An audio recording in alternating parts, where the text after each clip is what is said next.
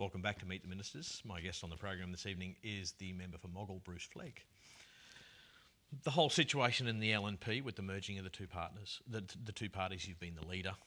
Um, you've been right smack dab in the middle of the whole process as the rest of the of Queensland has watched it going on. Has it been an enjoyable process for you? I mean, I guess you can't enjoy everything, and there's certainly been ups and downs. You have a smile on your face. You seem you seem pretty happy with the way life is going at the moment. Yes. You take that on board, and you kind of have to roll with the punches, don't you? People often say, "Do you enjoy this?" And I, my my standard answer is probably not the right word. Um, I mean, it's a fascinating and important thing to yeah. be doing.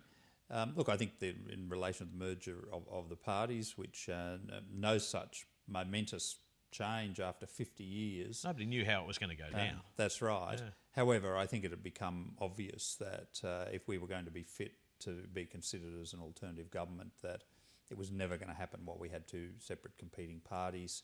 And, um, you know, you've got to take your hat off to those that could think outside the square and make it happen. I mean, in those, you know, the, the lowest days for the for the coalition, it really was. Well, where are we going to do now? How can we possibly ever get back into government? The, the, the Beattie government's dominance was so great at that stage. Mm the, the ability to come up, like you say, and, and think outside the square and I say, how do we turn this around? Mm. Was there a, a, blueprint in place at that stage, or is it something that's been altered as you go? Oh, I think it's evolved, yeah. Uh, like uh, all these sort of things do. I mean, you can't really anticipate the way we'd had a happen. Liberal and, and, National Party since uh, uh the 1940s uh, here, so it was a very big change. Mm, mm, um, but I don't believe we were going to win an election until that issue was of competing parties was resolved. Um, and uh, it's been pretty effectively resolved. And an interesting situation now with the, with the situation with uh, with Campbell Newman um, running for the for the position of premier mm. while not being a sitting member. Uh, it's certainly thinking outside the square. Well, it is. It's probably not that unusual uh, concept. Uh, I mean, he ran for Lord Mayor of Brisbane and, and wasn't a councillor. Well, that's what I actually said to uh, Campbell when he was here on the program. It's it's a pretty similar situation. Yeah, that's right. And and I mean that is in fact, uh, and I mean the Brisbane City Council is bigger than some of the states of Australia. Yeah. Uh, and yet, you know, that's the standard thing. Labor are running a Lord Mayor for Brisbane who's never been a councillor. Yeah. Um, so the thing with Campbell is, of course, he's got the track record. He's yeah. not an unknown quantity. Yep. Uh, they know exactly where he's coming from, who he is, uh, and the sorts of things that, that he can do. So um, people want a clear cut choice. They don't, they don't want a complex, if maybe sort of choice. They want a choice between the two leaders and the two parties. Uh, and that's, that's what they've got. And, uh, you know, I think that's what people would choose to have. We don't have an election date, can't be too far away. Is there a lot of confidence in the ranks? Look, I, th- I think uh, the indications are that uh, that we're doing much better than we have done uh, prior to any of the previous elections. Yeah. I wouldn't get carried away in the sense that we need to pick up 13 or more seats. Uh, that's something that's almost never happened in mm. Queensland history. Um, getting a swing across the state is one thing, uh, but as we know from experience, frequently those swings happen in seats that have already got big margins one way or the other, and it doesn't change who holds the seat. Uh, you've actually got to pull across those marginal seats uh, if you're going to change the government. So we don't want to be complacent about it um, at all. Certainly, polls would suggest that we're faring better than we have prior to previous elections, mm-hmm. uh, but it's still actually a pretty pretty big job. And I, you know, I, when I talk to people, I caution them. Uh, you know, not to think that this is going to happen like it did in New South Wales. Mm. Um, there are a lot of marginal seats, and Queensland's quite a different state. It's a very decentralised state. Mm. Um, there's no guarantee that what happens in, in Brisbane is the same that uh, happens in Cairns and Townsville or in the other regional centres of the state. So we've got to do the hard work ahead of us. And politics has a way of making people look silly when they think they know what's going to happen. Yes, yeah. I think the worst thing you can ever do in politics is uh, is, is, become overconfident. Yeah. Uh, and pl- plenty of uh, train wrecks have followed from that and without even asking you, I can imagine you're probably out of bed by about 5.30, quarter to 6 and getting home at about 10, 10.30. How do you find time away from the busy life of politics for Bruce Flegg? You've got four sons. Mm. Uh, do you find the time outside of public life to find some Bruce Flegg time? What do you do?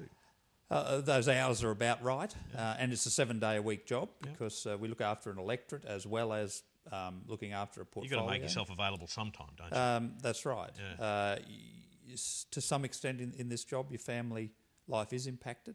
Um, you know, my my sons are older. I, I would hate to think of doing this job with with a young family, um, but uh, you've got to try to make some time for them. Essentially, the commitments that you have, some of them are things that are just obligations, and you need to be there. And for those occasions, your family, unfortunately, comes second.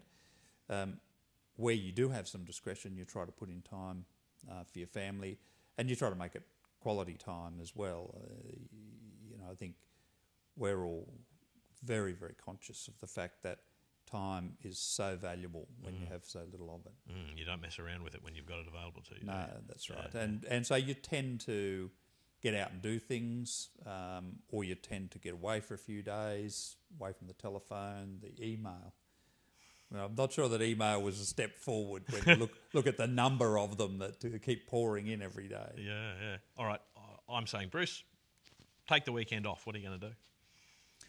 Um, I know that it's probably unlikely that you would have the weekend off, so it's probably not a situation. Yes, I didn't have the weekend off, but um, if if it occurs that I have a weekend off, then I try to get away. So I, I like to go to Point Lookout on Stradbroke Oh, yeah, nice. Island, uh, or sometimes Sunshine Coast. Um, so you might take whichever kids are at home or whatever, and just get away for a day or two, even just overnight, can make you know you feel very much more refreshed. Yeah, yeah. What about health and fitness? I know you're a keen cyclist. Yeah, people are used to watching politicians gain weight and go grey. And uh, it's it happens uh, unfortunately to all of us. It's very very important. We've just seen Paul has to- Lucas basically announce his retirement because he wants to pay, spend more time looking after his health.